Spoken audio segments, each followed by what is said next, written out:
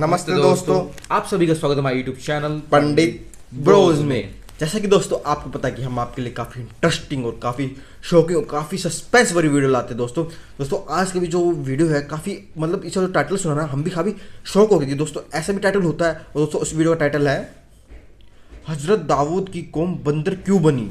हाँ दोस्तों ये आपको पता ही होगा कि ये बंदर क्या होते हैं। और इसमें ये होता है कि जो ये कौम है जो पूरी कोम एक बंदर बन गई पता नहीं किस कारण बनी क्यों बनी हाँ। वो इस वीडियो में पता चलेगा। हाँ दोस्तों हम भी काफ़ी एक्साइटेड है ये वीडियो पे रिएक्शन करने के लिए और दोस्तों।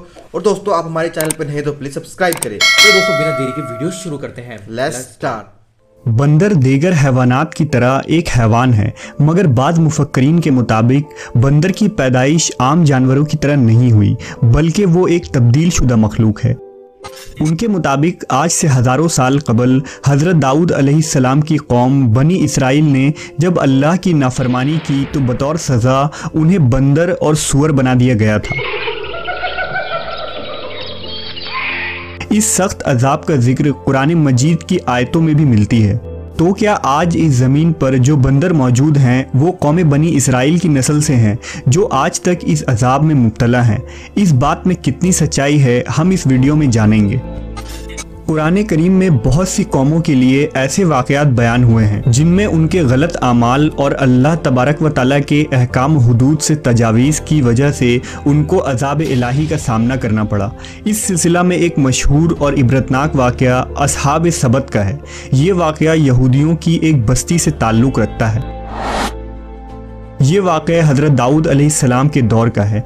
उस ज़माने में हज़रत याकूब की औलादें जो बनी इसराइल कहलाती थीं, उनकी आबादी लाखों में थी, जो अर्ज़ फ़लस्तीन और यरूशलम में आबाद थे। उनमें से एक कबीला बनी इसराइल से इलाहदा होकर एक दरिया के किनारे ईला नामी बस्ती में आबाद हो गए। उन लोगों की तादाद सत्तर हज़ार के करीब थी। और ये नहायत ही सरकश और नाफरमान लोग थे। इन लोगों ने अक्सर काम, अहकाम तौरेत के ख़िलाफ़ शुरू कर दी।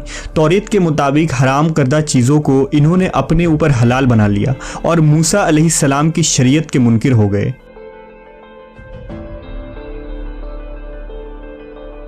ये कौम जिस दरिया के किनारे आबाद थे, इसमें कसरत से मछलियाँ मौजूद थी। लिहाजा ये लोग इस दरिया से मछलियाँ पकड़ते और उन्हें बतौर गज़ा इस्तेमाल करते थे। नेज़ इन मछलियों की खरीदो फरोख्त भी किया करते थे। लिहाजा अल्लाह ने उन्हें एक आजमाइश में डाला। हज़रत दाऊद सलाम की इस कौम को ये हुक्म मिला कि वो हफ़्ता यानी सनीचर के दिन मछली का शिकार ना किया करें और ना दुनिया की कोई ख़रीदो फ़रोख्त करें। इस दिन उनके लिए मछलियाँ पकड़ना हराम करार दिया गया। अलबत्ता सनीचर के अलावा दूसरे दिनों में मछलियाँ पकड़ने की उन्हें इजाज़त थी। लिहाजा हज़रत दाऊद सलाम के हुक्म से इस कौम ने इतवार से जुमा तक मछलियाँ पकड़ना शुरू कर दी, मगर हफ़्ते को मछलियाँ दरिया में ज़्यादा होती और बाकी के छः दिन कम होती। हफ़्ते के दिन जब भी दाऊद सलाम की कौम दरिया के पास आती तो इतनी ज़्यादा मछलियाँ देखकर उनका दिल बेईमान हो जाता। शैतान ने उनके इस लालच का फ़ायदा उठाकर उनको उकसाना शुरू कर दिया और उन्होंने सोच लिया कि सनीचर को वो दरिया में जाल लगा दिया करेंगे और इतवार को पकड़ लिया करेंगे। इस तरह कुछ लोगों ने जाल लगा लिए और कुछ लोगों ने छोटे छोटे हौज घर तक बना लिए और इस हौज का दरिया तक रास्ता बना दिया। हफ़्ते के दिन जब मछलियाँ इन हौज और जाल में आ जाती तो वो उसे पकाकर खा लेते।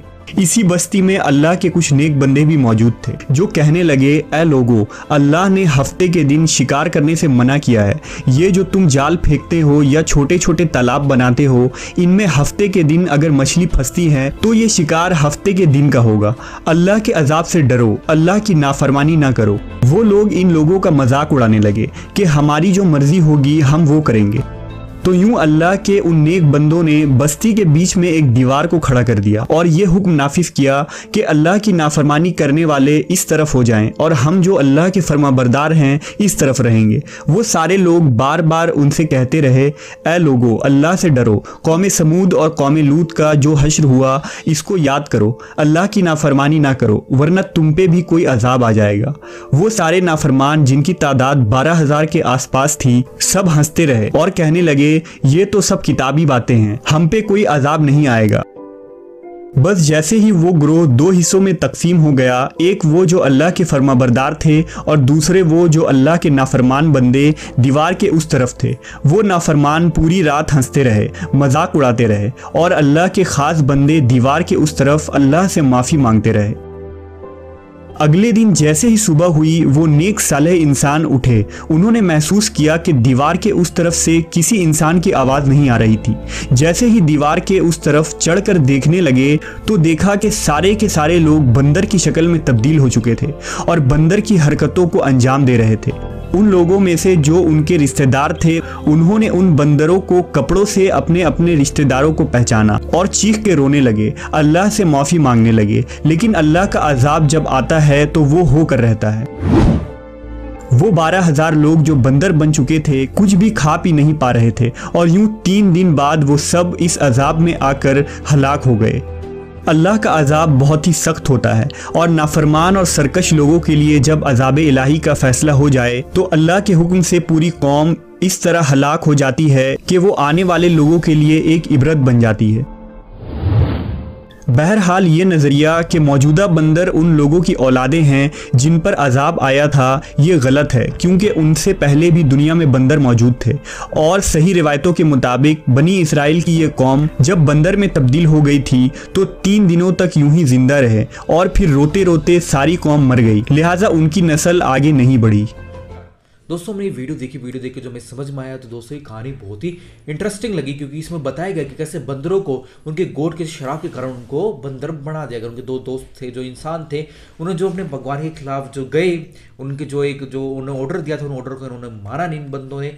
तो उनको जो गोड थे, उन्होंने उनको सजा दिया, उनको बंदर बना दिया। हाँ दोस्तों, जैसा कि इस वीडियो में टाइटल है कि मतलब कि हज दाऊद की कौम बंदर क्यों बनी? दोस्तों, जो स्टार्टिंग जो इस वाक्य में बताया कि जो जो बंदर हैं, यहाँ पे जो आकर आपने भी बंदर देखे होंगे कि वो उनकी ही कौम है? पर इसमें दोस्तों जो लास्ट में जो खुलासा करा ना कि जब उन्होंने मतलब ऐसा मतलब उनका अजाब अजब आया उनके गोड का तो उनको ये कहा कि वो बस तीन दिन तक ही सर्वाइव कर सके थे। फिर उनके बाद जितने भी जो बंदर बने थे वो सबकी उनकी मौत हो चुकी थी। हाँ और उससे मेन कारण इनका था बंदर बढ़ने का वो मेन कारण ये था क्योंकि जब वो कहीं जो उनका परिवार था लाखों का परिवार था सत्तर हज़ार का परिवार था वो बसने गए कहीं पे तो वहाँ नदी थी नदी में मछलियाँ हुआ करती तो उनको गुजारे के लिए मछली को पालना खाना था और पालना भी करा करते बेचा भी करा करते मगर हफ़्ते का एक दिन ऐसा था जहाँ उनको मछली ना बेचनी थी ना पकड़नी थी। हाँ दोस्तों और वो था ऐसे शनिचर का दिन। तो दोस्तों पर जो ऐसे लोग थे वो उनका जो वो था हुक्म था नहीं माना।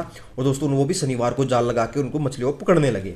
और ऐसा वो यूँ करा करते क्योंकि जो बाकी के हफ़्ते के छः दिन तो, तो उनको मछलियाँ बहुत कम मिला करती मगर जो शनिचर के दिन तो मछली बहुत मिल मिला करते उनके मन में लालच आ गया शैतान ने उनको देखा उनके मन में लालच आ गया उन्होंने ऐसा ही करा उन्हें जाल लगा दिया और जाल पकड़ लिए।